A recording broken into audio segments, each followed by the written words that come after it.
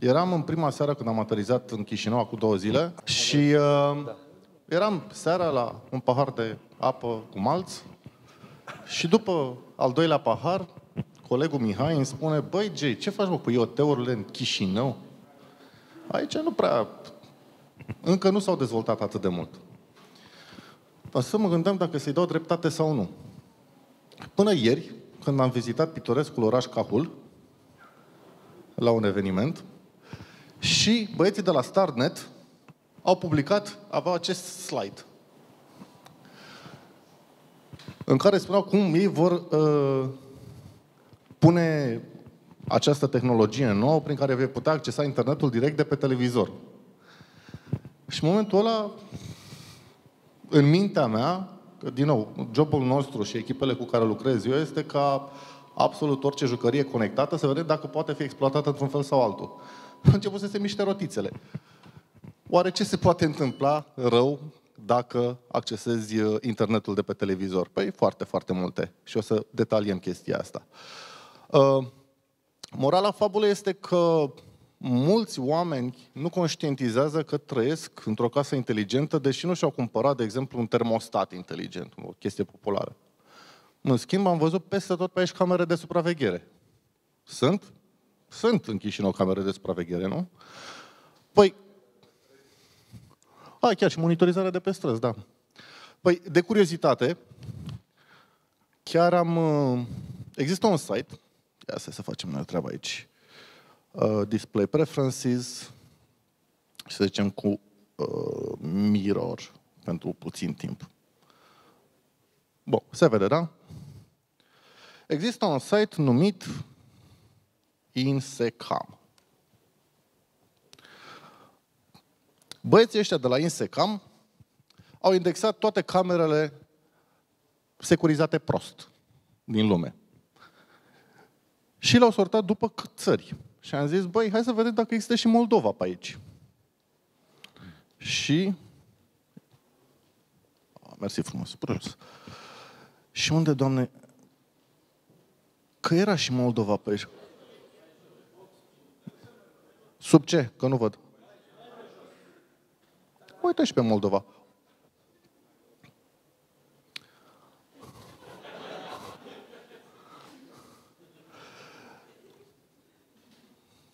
Curtea cuiva, un magazin ceva,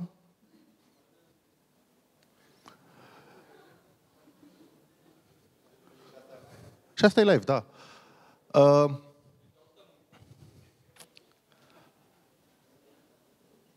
și sunt așa, ce a găsit el prin Republica Moldova când a dat cu jucările.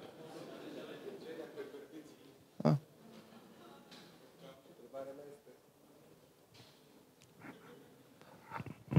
Întrebarea mea este către public simplă. Oare câți cei, pentru că sunt sigur mai mult jumătate din public, folosesc sau au acasă camere web.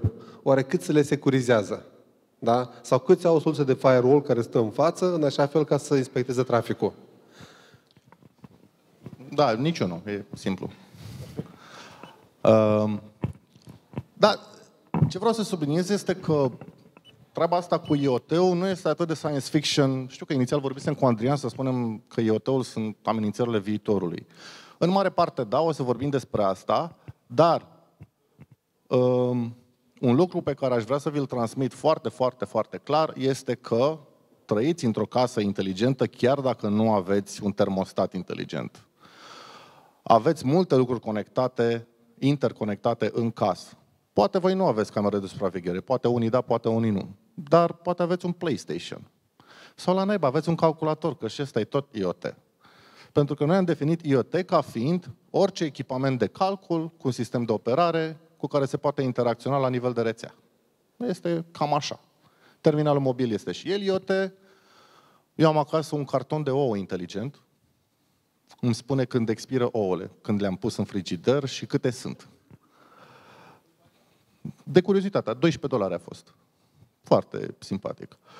Um, televizoarele sunt și ele inteligente. Deci asta e primul lucru. Trăim într-o casă inteligentă chiar dacă nu avem gadgeturile care au apărut ultimul răcnet. Uh, al doilea lucru este că partea asta cu IoT și cu connected devices nu va mai, fi, nu va mai putea fi evitată. Uh, deja nu prea se mai găsesc televizoare fără să fie smart. Cu siguranță nu se mai găsesc console de jocuri fără să fie smart. Imprimantele, mai are cineva imprimantă pe USB? 1. 2. Da? Ah, ok. Dar imprimantă în rețea câți au? My point exactly, ca să spun așa. Deci, treaba asta cu connected devices nu va mai fi opțională. Totul va deveni inteligent. Absolut tot. Foarte curând, boxele, sistemele de sonorizare, camerele sunt deja, imprimantele sunt deja, nu știu, scaunele poate la un moment dat. A apărut la naiba, a apărut uh, un covor de yoga inteligent. Sau preferatul meu, Portable Fish Finder. O jucărie care îți găsește pești din lac. Când ai la pește, arunci jucăria aia înainte și are un sonar ceva și îți spune cam pe unde e zona bună de aruncat undița. Uh, asta este epoca în care trăim și, din nou, nu veți putea opta foarte curând uh, să nu cumpărați ceva conectat la rețea. Și acum hai să vorbim puțin despre ce este IoT-ul.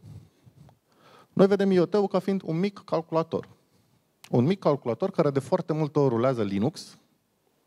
Este o versiune mai mică, mai stripuită a Linux-ului numită BusyBox. Și băieții ăștia care dezvoltă IoT-uri, habar n-au securitate. Da, pe scurt, așa, pe șleau.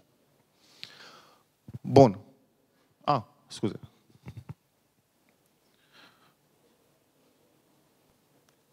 Bun. Cine știe ce este acela un honeypot? Vă rog frumos. Am nevoie de informațiile astea ca să știu cât de mult explic și cât de mult nu explic. Ok. Voi explica. Un honeypot este o momeală întinsă unui atacator. Da? Ă, dacă ar fi să fac o analogie, ca și cum i-aș lăsa, aș face o casă interesantă și aș lăsa o ușă descuiată și o pungă de bani înăuntru, să văd în ce, să văd cum atacatorul intră, ia banii ca să-l pot prinde sau ceva de genul ăsta. În contextul nostru, noi simulăm, inițial aveam honeypot pentru, aveam honeypot doar pentru a vedea atacuri pe Windows, Mac, Android. Și simulam servere vulnerabile, îi lăsam pe băieți să le spargă pentru a vedea ce fac după aia. Îl spărgeau, puneau un virus. Luam virusul, îl analizam. Ia uite cum prineam noi. Făceam rost de virus noi. Este una dintre multele metode prin care Bitdefender obține sample-uri cu ultimii virus. Și am făcut honeypot de IoT. Adică simulări de rutere, webcam-uri, uh, în principiu cam asta avem acum, cu asta am început, rutere și webcam-uri.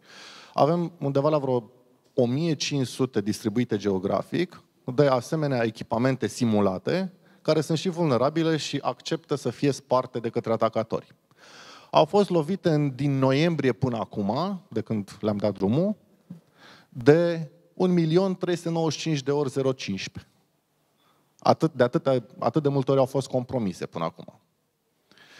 Deci cam la nivelul ăsta joacă băieții în acest moment. Pur și simplu scanează toate clasele de IP de internet după niște vulnerabilități, dacă le găsesc, le exploatează.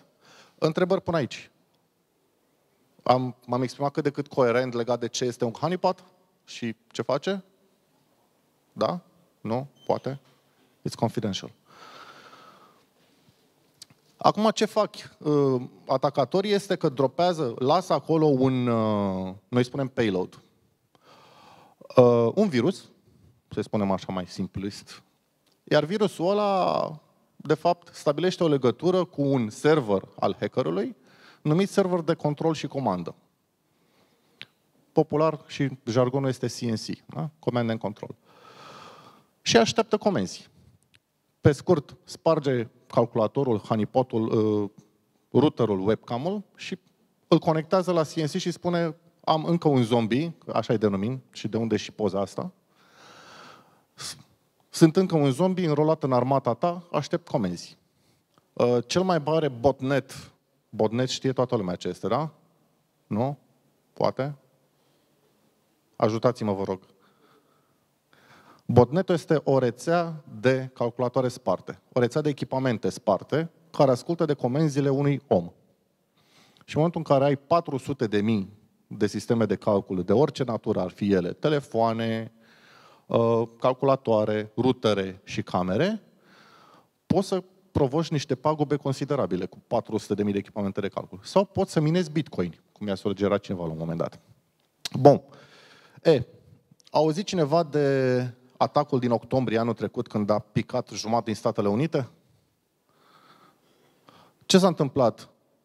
Cele 400 de mii de camere de supraveghere, cam cum erau alea de pe Insecam pe care le-am văzut mai devreme, erau înregistrate într-un botnet numit Mirai, a primit un nume, și uh, la un moment dat, cel care stăpânea acel botnet a spus atacă serverul Dyn. Dyn este Dyn DNS, unul dintre furnizorii principali de servicii de DNS din Statele Unite, și au dat jos Dyn.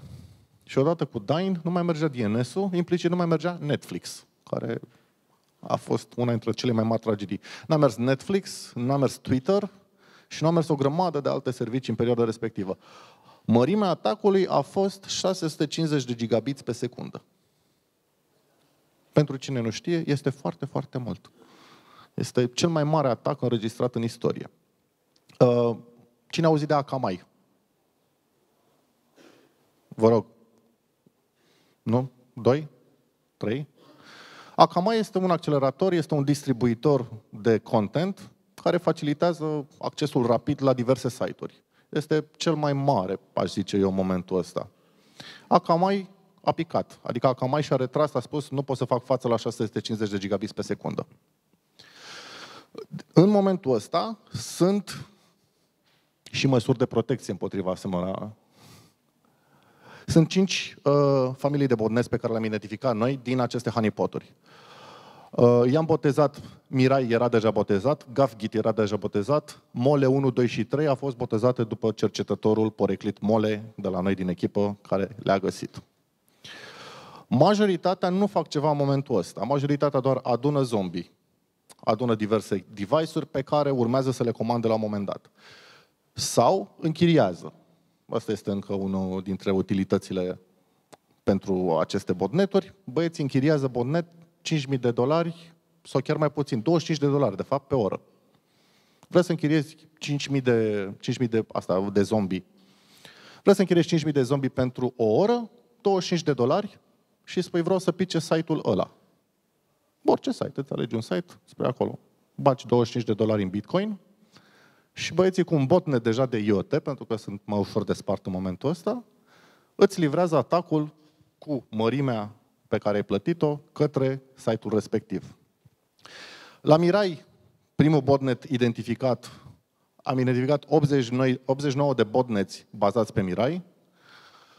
Am identificat foarte multe variante de GovGit și o chestie foarte interesantă, am văzut că GovGit activează ca și botnet de IoT din 2014. Adică mult, mult înainte să apară tot hype-ul ăsta cu securitatea și probleme de securitate pe IoT. Și după cum spuneam mai devreme, stau degeaba și este posibil, Doamne ferește, ca și prin camerele astea pe care le-am văzut, să fie în momentul acesta un agent de botnet, ori GovGit, ori Mirai, ori altul pe care l-am mai găsit, Hajime sau Mole 1, 2, 3. Asta este una dintre cele mai mari probleme cu, uh, cu atacurile și virusii. A apărut acum sunt virus de IoT, sunt pe arhitectura MIPS, Little Endian sau ARM, și nimeni nu știe că ei există decât cu o ceva înaltă de securitate care să știe să se uite după ei.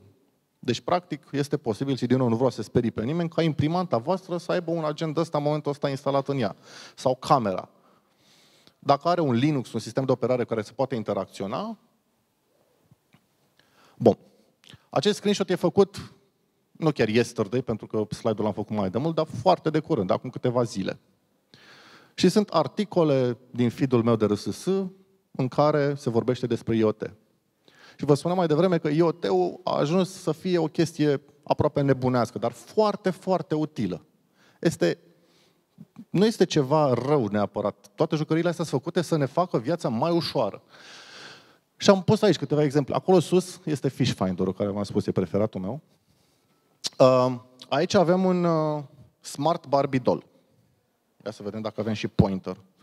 Acest Smart Barbie Doll este o jucărie educațională. Este, mă rog, pentru fete sau băieți cu alte preferințe. Și știe să vorbească cu copilul. Știe să învețe matematică, geografie, să-i zică să-și facă temele și așa mai departe. Are un program cam cum e Siri pe iOS, cam cum e Cortana pe Windows, sau OK Google, sau cum îi spune lui ăla, pe, pe Android. Și copilul vorbește cu păpușa și păpușa vorbește cu copilul și îi spune, uite, unde este, care este capitala Republicii Moldova? Și copilul spune, București. Nu, greșit, este Chișinău. Și așa mai departe. Evident, e disponibilă doar în câteva limbi, dar oricât este o jucărie foarte mișto de a lua copilului pentru a ajuta cu educație.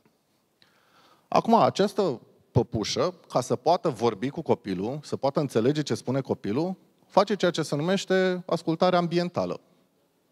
Această ascultare ambientală de care am mai auzit la servicii, poate, sau la orice sistem care are microfoane. De care am mai auzit și la scandalul cu Samsung, tele, televizorul Samsung, despre care s-a spus că uh, trimit tot ce se aude în cameră către serverele lor. În caz că vă întrebați, da, așa este. Din cauza acestei ascultări ambientale. Ca păpușa să audă ce spune copilul, trebuie să asculte. Are un microfon care ascultă ce se întâmplă în casă. Și uh, niște băieți au reușit să găsească o metodă prin care să interacționeze cu păpușa și de la distanță, prin păpușă, ascultau ce se întâmpla în casa omului. Și iată cum o jucărie de asta foarte utilă, foarte ok, foarte bună pentru copii, educațională, a fost transformată într-o unealtă de ascultat în casa omului ce se întâmpla. Uh, această priză a modificat eu producătorul pentru că la momentul respectiv nu aveam voie să, să dezvăluim cine este. O avem și noi aici. Uh, are o serie de vulnerabilități despre care vom vorbi mai târziu. Cert este că prin priza asta se poate compromite o rețea întreagă de acasă, chiar dacă, este în spatele, chiar dacă priza este pusă în spatele firewall-ului. Și așa mai departe. Acest coffee maker are telnet deschis. Pusesem mai devreme întrebarea dacă știe, dacă știe toată sala ce înseamnă telnet. Și pe atunci erau mai multe mâini ridicate. Da? Ok. Uh, coffee maker vine cu telnet deschis și 1, 2, 3, 4, 5, 6 root, root cu 1, 2, 3, 4, 5, 6 ca și credențiale. By design. Și oricine îl poate accesa. Și, din nou, alte issue care au fost așa, doar într-o zi. Uh, Teddy Beru care a dat două milioane de mesaje dintre părinți și copii. Un ursuleț. Să vorbim puțin despre care sunt problemele pe care noi le-am văzut. Din nou, noi facem în momentul ăsta analiză pe o grămadă. Avem toate jucăriile posibile. Nu știu dacă ați fost mai devreme când vă spuneam de bugetul de R&D, unde 25% sunt bani de aruncat, între ghilimele, noi băgăm foarte mulți din banii ăia în toate gadgeturile posibile. Păpuși, mașini mai puțin, că mașini nu ne-au lăsat, să vreau să luăm un Jaguar inteligent. Și, eh, hai că poate facem parteneria cu ei. Uh, în schimb, orice alte jucării, televizoare, prize și așa mai departe. Uh, și ce am văzut, prima chestie a fost uh, problema asta cu parolele default. Foarte multă lume nu schimba parola de pe echipament. Ieri am dat de exemplu la Cahul, în locația unde era evenimentul, routerul de acolo avea admin cu admin. Și asta n-ar fi fost o problemă dacă era izolat sau ceva, dar era rețeaua accesibilă a tuturor. Îți dădeau parola cei de la restaurant, îți spuneam, uite, parola era al, al SIS 2016 sau ceva de genul. Apple Sin, Apple Sin, așa, 2016. Și ți-o dădeau cei de la restaurant și pe urmă, de curiozitate, am vrut să văd și eu dacă routerul avea parola schimbat. Nu avea. Și am observat că după ce am lansat noi o jucărie care investigează vulnerabilități în IoT și furnizează și securitate pentru asta, am văzut că majoritatea oamenilor nu schimbă parolele de la echipamente. Și asta a fost prima dintre probleme. Aici, de exemplu, puteți vedea în dreapta un tip foarte chipeș și interfața de la sistemul de securitate al unei cafenele, da? Deci asta este interfața de administrare a sistemului de securitate al cafenelei, accesată de pe telefonul mobil. Și cum și-a făcut o poză cu sistemul de securitate. Pentru că era un super hacker, hackerman? Nu. Pentru că cafeneaua respectivă avea sistemul de securitate pe aceeași rețea cu rețeaua pe care o punea la dispoziție clienților. Deci am intrat, vrem și noi parola de Wi-Fi. Sigur, asta e parola de Wi-Fi. Există un utilitar, se numește Fing, cu care mapezi toată rețeaua, vezi tot ce este în picioare în rețeaua respectivă și vedem security cameras. Click. User parolă. Admin, admin. Și am, pardon, nu eu, băiatul acela drăguț de acolo a mișcat camera așa puțin ca să poată să-și facă această magnifică poză. Și asta se spune că e neglijența utilizatorilor. Mai există încă o problemă foarte gravă și anume neglijența vendorilor, care inserează în echipamentele pe care le, le pun în piață, ca să spunem așa, niște service uh, ports sau service interface. Pentru că în situația în care echipamentul se deteriorează, ei să intre direct de la distanță și să poată să repare ceva pe acolo. Coffee Maker-ul are, mai avem și o sonerie inteligentă care are tot la fel, foarte multe camere au și sunt parolele, nu sunt parole simple, nu sunt 1, 2, 3, 4, 5, 6, dar problema este că e aceeași parolă pe toate. Și dacă din vari motive cineva află cum se accesează acel, acea interfață de management ascunsă a producătorului de hardware, după ce ai aflat pentru una, poți să faci același lucru cu toate echipamentele de la vendorul respectiv. Este o practică pe care nu o recomand sub nicio formă niciunui producător de niciun hardware. Și dacă aveți echipamente conectate, vă recomand să căutați pe internet dacă cineva deja a făcut un research și a găsit ceva legat de echipamentele respective. Pentru că sunt șanse ca, nu știu, o imprimantă, un sistem de telefonie, Doamne ferește, să aibă o parolă hardcodată în echipament și multă lume să o știe deja. O altă problemă pe care am văzut-o la, device, la echipamentele astea inteligente a fost lipsa criptării. Vedem noi priza asta, de exemplu, are o opțiune să-ți trimită alerte prin e-mail. Și pentru asta își cere adresa de e-mail și parola de la mail, pentru a-ți folosi credențialele tale ca să trimită mail-uri, serverul de SMTP. Și am observat că când se sincronizează ea priza cu cloud-ul lor de la Edimax, ă, nu folosește criptare. Și oricine poate vedea e mail și parola ta. Îi contactăm pe cei de la Edimax și le spunem, bă băieți, nu e bine ce faceți aici. Și ne-au spus, ne pare rău, dar nu avem putere de procesare. Păi da, dar atunci dezactivați funcția. Să nu poată, adică eu nu l-aș lăsa pe user să-și bage date confidențiale într-un echipament pe care nu pot să-l securizez, sub nicio formă. Nu au fost de acord. Uh, eu, de exemplu, și foarte multă lume își spune mai mult decât adresa de mail și parolă. Eu, de exemplu, am un Fire Stick. Este o jucărie, un stick de ăsta cu Android, de la Amazon, pe care îl car după mine, îl bag în televizor la hotel și am multimedia on demand. Orice, filme, muzică și așa mai departe. Am cardul de credit pus pe el. Pentru că din când în când mă mai uit pe Netflix sau pe Amazon, mai îmi iau ceva de pe Amazon. E, asemenea echipamente nu-ți poți permite să nu le securizezi cum trebuie, dar din păcate foarte mulți o fac. Aș fi tare curios să știu dacă cineva din sală este familiarizat, măcar așa, a auzit vreodată de conceptul de command injection. 1, 2, 3? Ah, foarte bun. Uh, din punctul meu de vedere, asta este de la mare distanță cea mai mare problemă în momentul ăsta. Parolele este o bulă care va exploda la un moment dat. O să înceapă lumea să-și seteze parole pe jucării, că sunt sparți, că nu sunt sparți, că au auzit din presă sau de la prieteni, o să se rezolve. Uh, vendor backdoors și asta, pentru că tot apar paper-ul de la cercetători și de la noi și de la alții, care spun, uite, vezi, parola asta am extras-o din firmware și băieții încep să publice update-uri și oamenii își actualizează. Command injection, în schimb, permite unui atacator să interacționeze cu device-ul și să execute comenzi pe device-ul ăla la nivelul sistemului de operare și este o vulnerabilitate care este mai greu de văzut de către utilizator și de înțeles. foarte, majoritatea înțeleg ce înseamnă conceptul schimbă-ți parola. Dar foarte mulți nu înțeleg conceptul de command injection, ce înseamnă și ce presupune.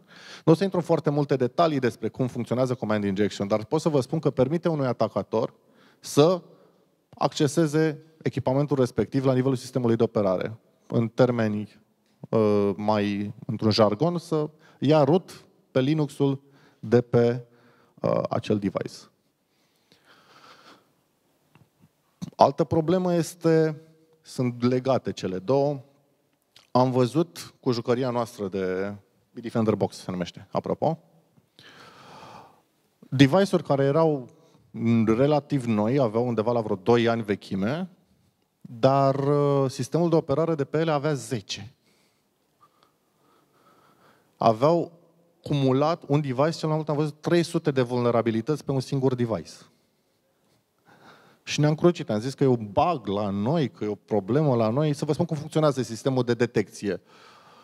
Identificând toate echipamentele din rețea, aici utilizatorii au primul șoc. Ei întotdeauna au impresia că au undeva mult mai puține device-uri decât au de fapt. Și boxul începe să le spună, uite, pe, ai de ăsta, de ăsta, de ăsta, de ăsta. Ah, nici nu știam. Și uh, apoi se uită la ce porturi sunt deschise pe fiecare, între echipament, pe fiecare echipament și apoi se uită la ce rulează pe fiecare port și apoi corelează informațiile astea cu vulnerabilitate, bază de date de vulnerabilități online de la KVE Mitre.org. Uh, face și un mic brute force pe toate interfețele care suportă autentificare pentru a spune dacă ai cumva parole default uitate pe undeva. Bun. Uh, jucăria aia avea 300 de vulnerabilități pentru că avea o versiune de SSH, o o interfață de management. Avea SSH 1.5. Ăla a adunat de când a fost lansat acum 10 ani sau chiar mai bine până acum, numai ăla a adunat 75 de vulnerabilități. Avea un web server tot la fel, un tiny HTTPD de acum 10-15 ani și ăla adunase tot 75 și uite așa, pe vreo 3 servicii se făcuseră 300. Și de asta au fost 300. Nu a fost bug la noi, ci pur și simplu serviciile care rulau pe echipamentul respectiv erau atât de învechite, încât se găsiseră în cei 10 ani atât de multe vulnerabilități pe ele. Și acum, asta mă duce la o altă problemă și cred că dacă s-a rezolvat asta, s-a rezolvat toate, interfețele de uh, update, uh, experiența utilizatorului când face update la un device. Nest, nu știu dacă ați auzit, Nest este un termostat și o cameră de la, făcută de Google, achiziționată de Google, de fapt, și după aceea vândută de ei. Nest nu întreabă utilizatorul dacă vrea să-și facă update. Nest își face update. În momentul în care Google publică ceva, Nest își face singur update și merge totul bine. Bitdefender Box face la fel. Edimax nu face la fel. Și în momentul în care te bazezi pe utilizator și pe skillurile și bunăvoința utilizatorilor de a face update la firmware unei jucării, trebuie în primul rând să îți dai seama că utilizatorul nu știe ce e la firmware, majoritatea n-a auzit de cuvântul ăsta și nu o să-l facă. Și asta este una dintre cele mai mari probleme. Dacă vreți să vedeți că un echipament este ok din punct de vedere securitate sau nu, uitați-vă numai la chestia asta, cel mai simplu. Dacă își face update-uri automat la sistemul de operare. Chiar pregătisem pentru Da. Uh, ca exemplu, noi avem un demo cu priza asta și l-am făcut la o prezentare de securitate în China, prima dată când am publicat paperul cu ce găsisem pe ea. Noi evident îi notificasem pe cei de la Edimax cu șase luni înainte și cei de la Edimax au zis că o să publice un update. Când ne-am dus noi în China, eram în camera de hotel și ne pregăteam să facem demo-urile. Și am văzut acest mesaj pe aplicația de management a Edimax-ului.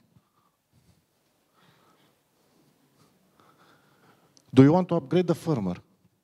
Și eram, oh, shit. Noi a doua zi aveam demo.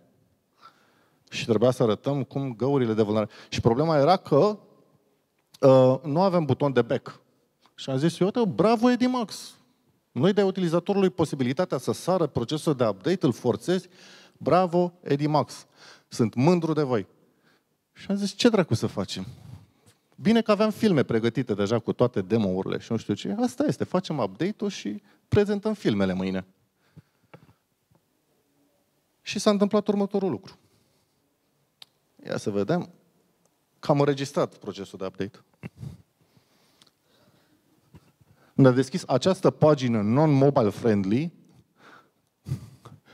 în care ne puneau să descărcăm un fișier binar pe telefonul mobil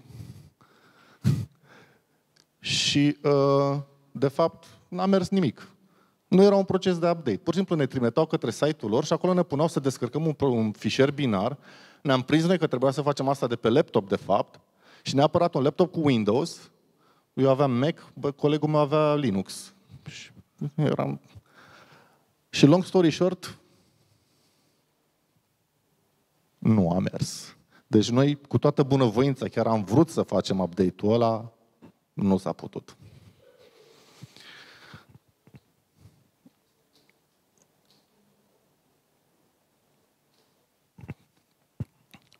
Bun.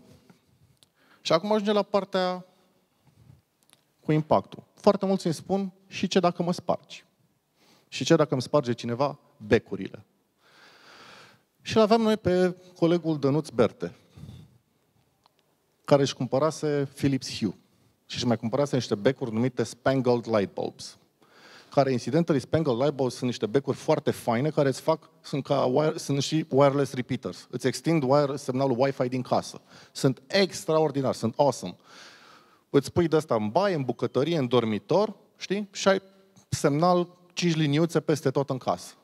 Din păcate, aceste becuri vin cu telnet și 1, 2, 3, 4, 5, 6 pe ele. Și n-a știut nimeni de asta până când Dănuț Veaud, actually Veaud din boxul nostru i-a spus lui Dan, vezi că spangled tale așa. Și ăsta a rămas mască. Bun. Și ne ducem noi la Dănuț acasă, că Dănuț era cel mai chitit. Domne, nu, și ce? Nu mi se poate întâmpla nimic? Sau dacă îmi spargi becurile, nu mă interesează. Și ne-am dus la 10 seara la el acasă, parcat mașina lângă el și uh, scos laptopul, clickety click, clickety click, becurile la 30%, becurile off, becurile la pe verde, becurile pe mov, becurile off, becurile on, becurile off, becurile on. Și ne-a jucat așa maxim 5 minute și după ne sună telefonul. Salut, Jay. Salut, Dănuț. Știu că ești tu. Termină. Ok, da. Și m-am dus la și cum te-ai simțit? Cum a fost?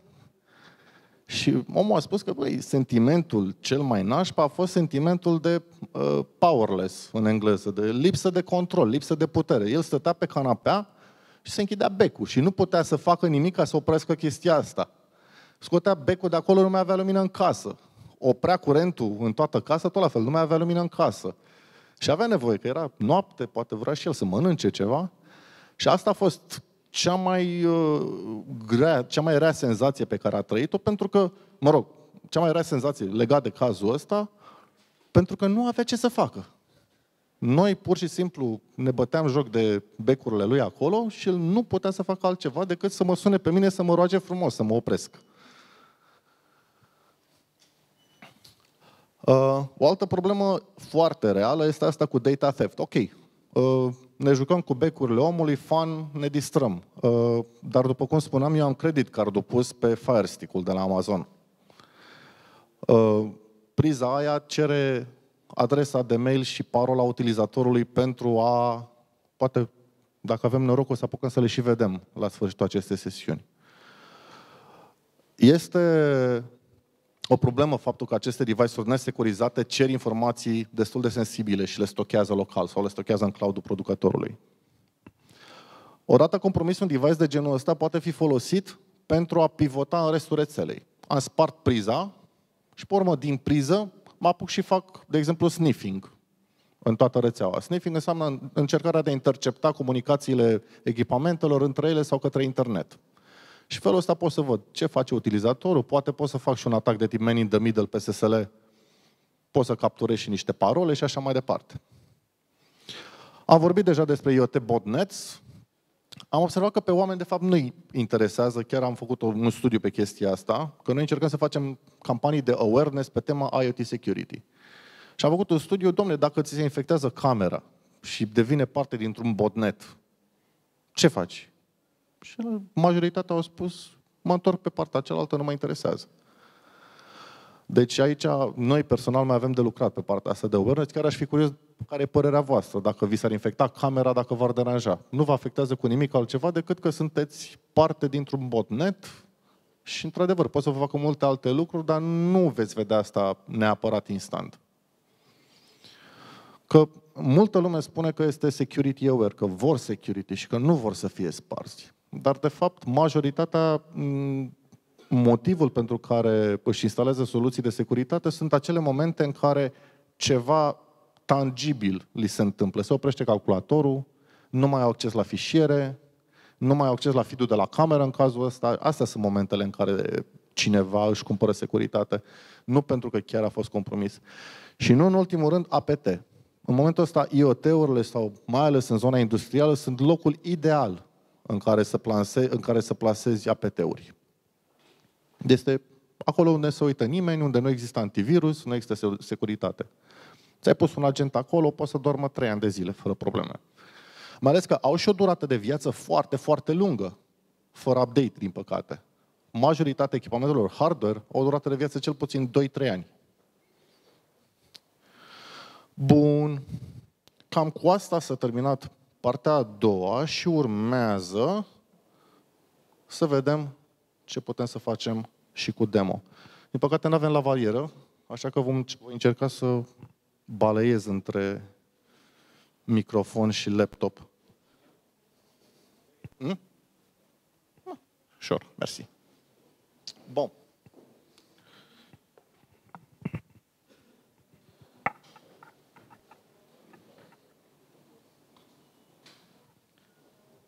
Bem și o cafea la final sau...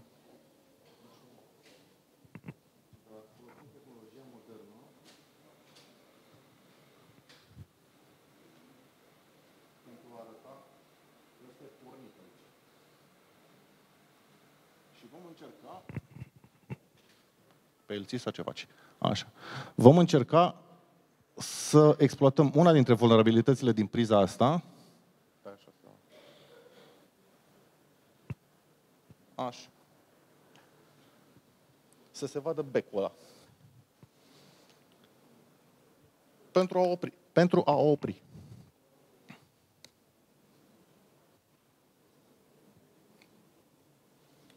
Și acum pentru a o porni, și acum pentru a opri. Bun, ce s-a întâmplat?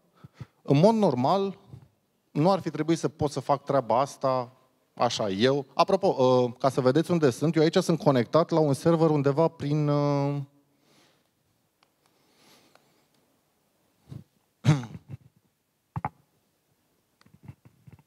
o secundă.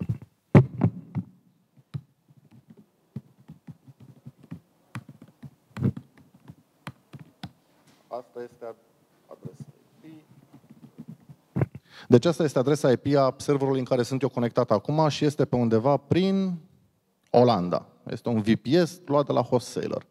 Deci, eu am dat comenzile astea acum către priza inteligentă din Olanda, nu de aici, de pe aplicația lui Ion, de care o să am nevoie, apropo.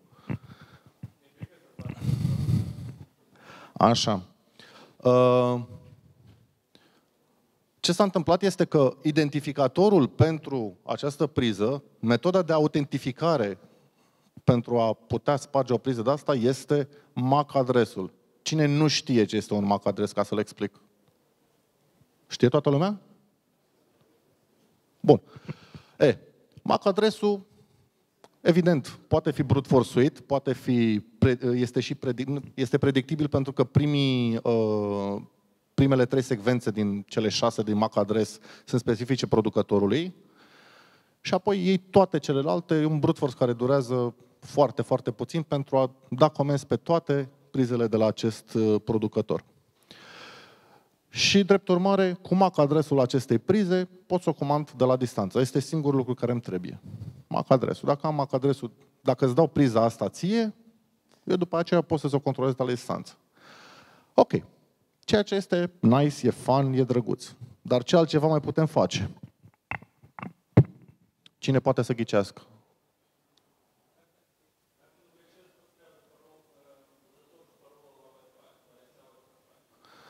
Da, așa este, dar întrebarea este ce mai putem face în afară de să-i dăm on-off de la distanță? Că deocamdată atât am putut să interacționăm cu ea. Uite că la asta nu m-am gândit. Vă spun eu, uh, cel mai bun lucru pe care îl poți obține în contextul ăsta se numește RCE, care vine de la Remote Code Execution, care vine de la vrei să iei shell complet pe sistemul de operare de pe priză. Și dacă zei demonstrațiilor vor fi cu mine,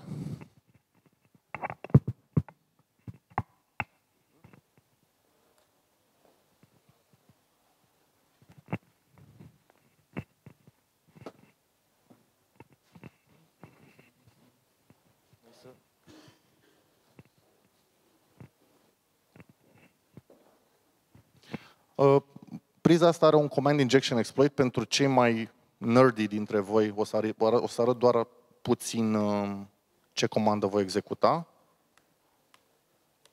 Și în pauză, pentru cine e curios, vă da și mai multe detalii despre cum funcționează. Nu mai e nevoie de cameră, apropo. Mersi frumos. Despre cum funcționează command injection-ul pe priză și de ce merge. Așa, asta e comanda. Și, din nou, pentru cei care sunt mult mai curioși, putem detalia la pauză despre ce se face. Ok.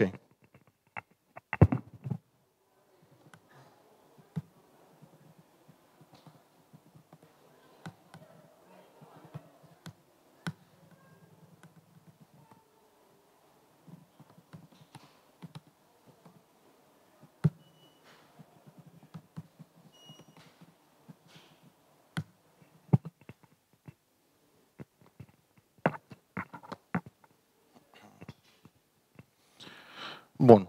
Noi am trimis command injection care se va executa în momentul în care utilizatorul deschide data următoare aplicație. Și să vedem...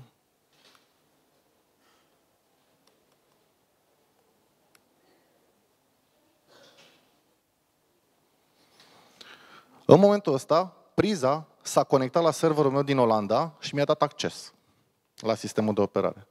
Poți să-ți iei telefonul, domnul. Gata, da. Mulțumesc. Aș.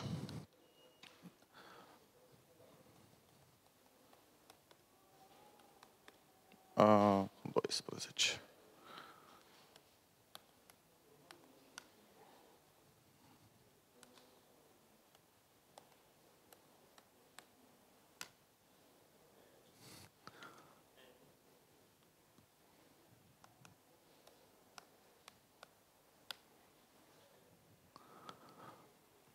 Eu acum sunt în Linuxul de pe această priză de aici. Da? În sistemul de operare instalat pe această priză. Pentru cei mai pasionați de Linux sau de Linux, dacă vrea cineva să sugereze vreo comandă pe care ar vrea să vadă, poftim?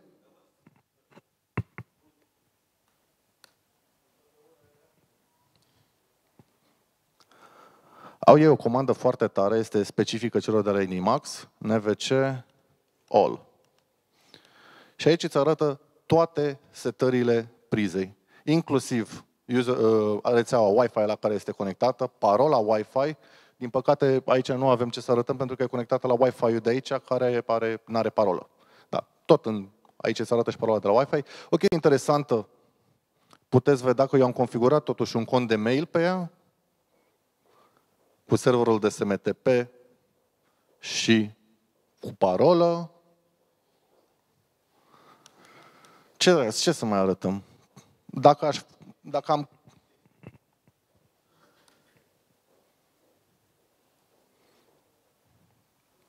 Asta este, puteți vedea și command injection care încă se mai execută. Alte comenzi? Vrea cineva? Poftim. Încă o dată. DO? A, top, top, top.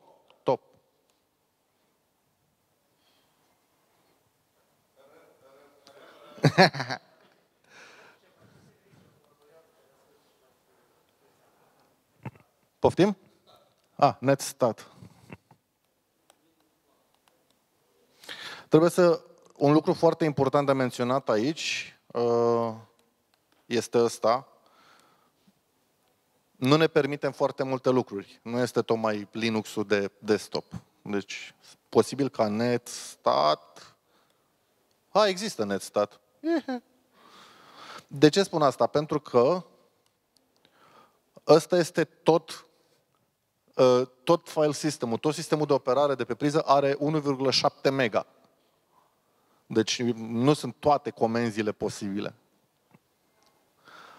Dar este suficient cât noi să putem un payload și dacă ne-am chinuit puțin, am putea să facem chiar un agent de VPN foarte slim și prin priză să-mi fac eu VPN în casa voastră. Și fun fact, cu priza asta, eram uh, la o întâlnire cu un carrier foarte, foarte mare din Statele Unite. Și eram noi acolo și era șeful lor de pe dezvoltare, ăla care face rutere și ajunsesem eu la partea asta cu demo cu priza. Noi făceam demo la ceva tehnologii la care lucrăm pentru securizarea asemenea, împotriva asemenea atacuri. Și la un moment dat, șeful lor de dezvoltare, că orice ITist care se respecte era de o aroganță maximă, stătea așa și zice, băi, ce vreți voi să vindeți aici, mă? Și pe urmă mă vede cu priza asta. Și zice, a, am și o priză de aia.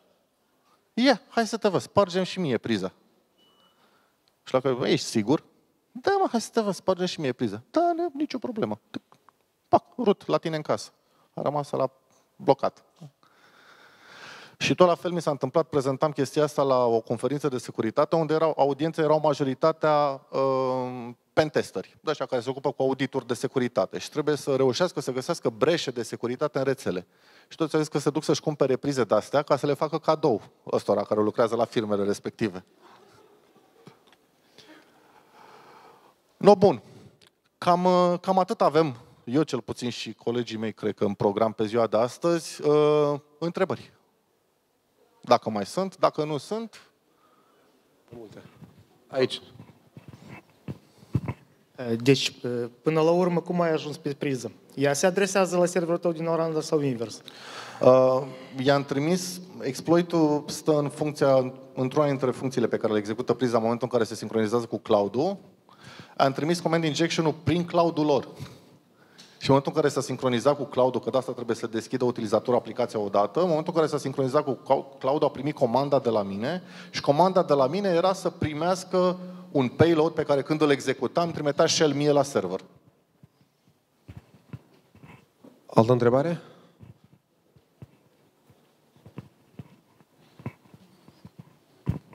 Când o să fie disponibil Bitdefender Box în Moldova? Nu vreau, nu vreau să fac nicio promisiune. Este posibil, uh, după ce lansăm V2, V2 să lansăm mai global decât doar Statele Unite. V1 șanse minime să ajungă și aici. Am lansat de curând în Japonia, luna viitoare lansăm în Franța și cred că se termină stocul. Cu întrebare, limba rusă în Defender, când o să fie? Nu știu. Colegii mei îmi spun că se lucrează. Partea de produs, eu m-am distanțat puțin de partea de produs, acum mă ocup mai mult de partea de cercetare și singurul produs de care mă mai îngrijesc direct e boxul.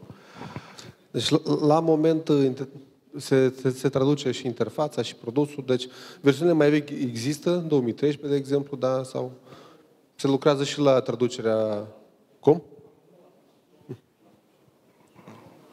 Da, da. Deci la moment nu este, dar uh, se lucrează și în, în direcția dată. Care este cel mai puternic concurent al dumneavoastră și de ce îl considerați așa?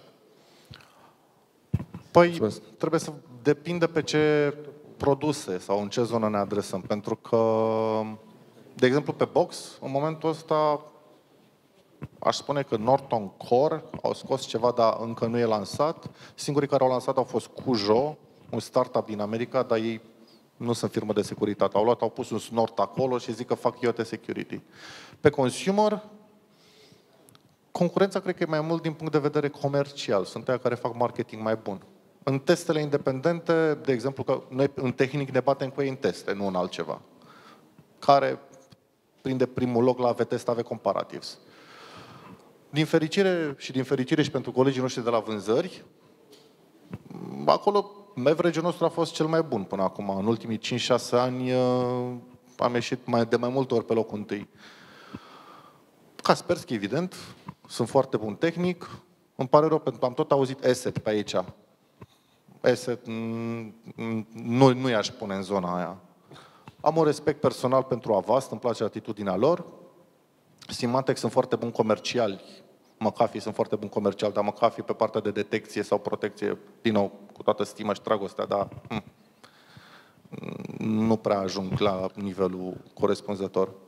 Aici în sală avem mulți studenți, inclusiv de-a mei. Am vrut să întreb în linii generale ce perspective se vor deschide pentru studenți în parteneriatul care cred eu, ori se semnează, ori mâine va fi, și ce perspective va oferi laboratorul UTM Bitdefender pe scurtă durată, pe lungă durată, pentru a ridica nivelul de securitate și inclusiv în colaborare, dar și pentru dezvoltare în general academic și nu numai. Nu, dar două chestii. Deci laboratorul Bitdefender este un parteneriat de lungă durată, că m-ați întrebat de Uh, hai să spunem, dimensiunea lui, dimensiunea lui, e lungă durată, dar detalii, ce se va întâmpla acolo, ce vom face, nu, le, nu vrem să le spunem astăzi, pentru că va fi press release și atunci vom da toate detalii și toate comentariile și atunci ar fi bine să, să lăsăm pentru atunci. Dar e un parteneriat de lungă durată, asta e clar. Și clar că va fi în uh, ajutorul și interesul UTM-ului uh, și a pieței locale de aici. Da, o să, o să revenim cu un comunicat de presă pentru partea asta. Eu am așa o întrebare. Ne-ați cooperați cu alte companii, de exemplu, ca Kaspersky sau care tot eh, de securitate, că în general fac eh, tot antivirusul în vedere. De exemplu, testați oarecare și împreună cu o altă companie, testați un anumit obiect sau un firewall sau altceva în vedere.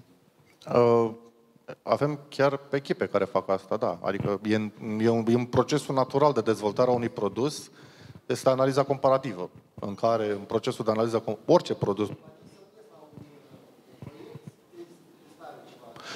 A, astea sunt altceva. Avem foarte multe relații. Cât se bat băieții ăștia de la vânzări între ei cu Simantec și cu nu știu ce, pe partea tehnică noi colaborăm, evident. Suntem parte dintr-o grămadă de alianțe.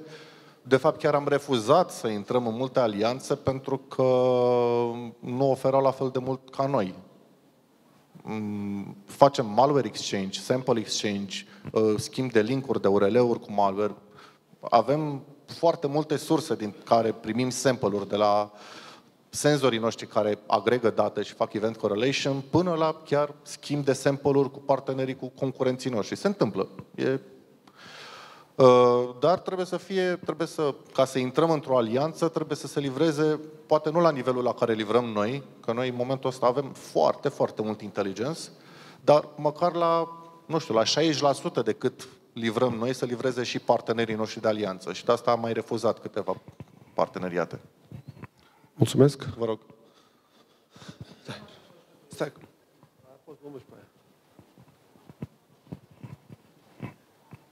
Bună ziua! Bună ziua. Așa o întrebare. Cu Box, dumneavoastră faceți un fel de pen testing, să spunem așa. Doar să faci un fel de brute force și să verific toate dispozitivele. Adică urmează așa o etapă când aveți de gând să ocupați și asta nișă? Sau doar atât? Uh, VA, îi spunem noi, Vulnerability Assessment, uh, e un modul, unul dintre funcționalitățile boxului, care s-a născut în momentul în care eu o duceam pe fimea la not. Și am văzut că rețeaua de acolo era praf, varză. Și am zis că noi niciodată nu dăm vina pe utilizator. Niciodată. Utilizatorul este neinformat. Nu este neapărat vinovat întotdeauna. Pentru că și eu, mulți facem greșeli. Spuneam mai devreme că și eu am avut un site spart. S-a întâmplat. Uh, și atunci am spus, hai să facem un modul care să-i spună utilizatorului că nu cred că vreunul dintre voi când își cumpără un termostat sau un uh, router nou sau un ceva, stau să dea nmap pe el, să vadă ce vulnerabilități are, dacă are telnet deschis, n-are, dacă are parolă default, n-are. Cred că nimeni nu stă să facă toate astea decât unul ca mine sau poate ca domnul. Sau poate încă unul, doi din sala asta. Și așa că am vrut să automatizăm procesul ăsta, care mi se pare vital pentru orice tip de rețea, pentru orice tip de echipament, să-l automatizăm și să-l punem într-o formă de asta mai dumbificată, cum spunem noi, mai user-friendly și să-i spunem userului, băi, vezi că ai acolo o parolă pe care poate n-ai știu că trebuie să o schimbi, schimb-o. Cam asta a fost tot conceptul din spatele implementării acestui modul. Mai mult de atât, nu știu dacă o să ne ducem, probabil că nu. Deci, în afară de uh, înștiințarea despre vulnerabilitățile deschise da? pe device-urile tale, uh, cu ce avea să ajute boxul în cazul unui asemenea atac care l-ai demonstrat? Uh, V1, vă spun cu toată dragostea, nu protejează împotriva unui command injection. V1 îți furnizează foarte multe informații de care ai nevoie și îți, ar putea să filtreze conexiunea către command and control server, de exemplu. Uh, V1 vorbește foarte mult cu cloud și orice conexiune inițiată de un echipament din rețea către o resursă din internet este verificată în cloudul nostru. Și dacă cloudul nostru zice, vezi că ăla de acolo e băia rău, atunci boxul taie conexiunea. În V2 avem, o să avem full-blown IDS, cu detecție pe command injection, dezvoltat totul de noi și uh, alte tehnologii. Și încă o întrebare referitor la trimiterea samplelor pe cloud-ul vostru. Uh, cât e de legal transmiterea unei asemenea informații peste hotarele țării? Depinde de... Pentru utilizatori casnici, nu este nicio problemă. Fiecare și ea avem terms and conditions, avem privacy policy, și ca să mă zic și pe aia este industry standard până la urmă. Adică utiliza, utilizarea cloud-ului pentru a determina reputația unei locații din internet și comunicarea cu cloud-ul este industry standard, nu se mai poate fără. Până la urmă, la un moment dat și partenerii ăștia din China s-au convins de asta. Inițial, când au semnat cu noi, erau, nu, că vrem cloud-ul nostru privat să nu, să nu fie nicio legătură cu voi invariabil tot au trebuit să creeze o legătură cu noi pentru update-uri, pentru semnături, pentru intelligence nou. Dacă vrei protecție la nivelul la care noi îl furnizăm clienților noștri, trebuie să accesezi toate resursele noastre și atunci trebuie interacțiune cu noi. Nu văd ce ar fi, ce nu ar fi legal dacă sunt date anonimizate care sunt colectate, nu neapărat colectate, procesate pentru protecția utilizatorului, noi trebuie să decidem ce facem acolo. În câțiva ani, cât de eficient credeți că va fi Bitdefender în protejarea împotriva atacurilor IoT, care se presupune a fi cel mai vulnerabil? Păi este, mă rog, V2-ul cel puțin o să fie mult mai evident, uh, este deja eficient. Uh, m-aș aștepta și aș spera ca producătorii de IoT să se trezească și să înceapă să nu mai dezvolte doar de dragul de a dezvolta. Una dintre problemele fundamentale cu IoT-urile este diversitatea. Google săracul a scos un sistem de operare pentru Android. Amazon a scos un Amazon, pentru IoT, pardon. Amazon a scos un cloud pentru IoT. Se numește chiar Amazon IoT Cloud Platform. Și nici dracu nu le folosește. Dacă tot producătorii de IoT ar folosi un sistem de operare, unul singur, și o singură platformă cloud, hai maxim două, atunci avea un singur punct în care să faci update-uri, actualizări și teoretic nici trebuie să intereseze pe ei ca producători cum se face treaba asta. Dar nu. Ei au decis că cea mai bună soluție este să dezvolte ei propriul sistem de operare, nepricepându-se la asta, ei să dezvolte tot softul și așa mai departe. Din cauza asta, Bitdefender o să fie în business pe, pe partea asta multă, multă vreme. Până la și în Star Trek o să fie în business pe partea asta. Mai sunt și alte întrebări?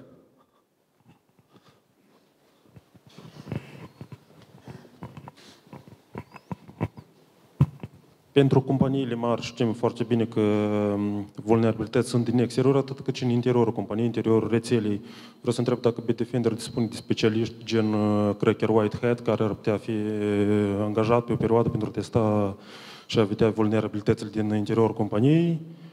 Și uh, o altă întrebare, odată ce știm cu toții foarte bine că soluțiile de securitate, cum ați zis, ați zis și dumneavoastră, văd atâtea linkurile accesate de noi, văd fișierele accesate de noi, care este, cum puteți să ne demonstrați nouă credibilitatea că anume Bitdefender nu conlucrează cu agențiile sau guvernele diferitelor țări în privința informației pe care o dețineți a utilizatorilor? Mersi. Răspunsul la prima întrebare este, nu este nimic public Așa. Răspunsul la prima întrebare legată de Red Team uh, este, avem mai mulți oameni în diferit, diverse Red Team, dar nu există ceva public de care să știe colegii noștri de la vânzări că i-am outsourcat pentru asemenea proiecte.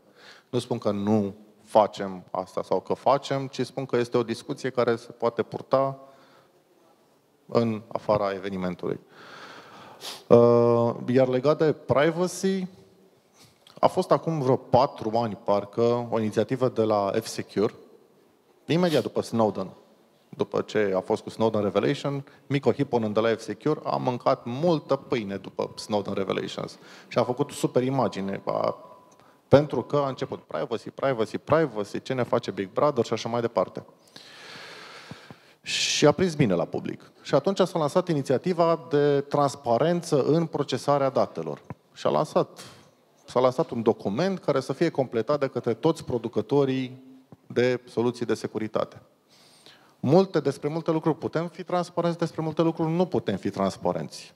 Și oricât de transparență am fi, nu putem să-ți dăm acces pe toate serverele și acces în toată infrastructura și toate, să spunem, cheile de SH pe serverele noastre ca să vezi exact ce se întâmplă acolo. Deci un grad de incertitudine vei avea invariabil. Nici nu, cred, nici nu știu cum am putea să demonstrăm beyond reasonable doubt beyond any doubt, pardon, că nu dăm datele într-un mod uh, ilegal sau într-un mod uh, care să conflicteze cu orice reguli de privacy. Eu pot să spun că nu o facem. Pot să spun cum facem să ne asigurăm că nu se întâmplă. Pot să spun despre politicile interne, cine gestionează datele și cum, ce date sunt colectate și cum sunt procesate. Dar uh, un grad de incertitudine va avea întotdeauna, cu absolut oricine.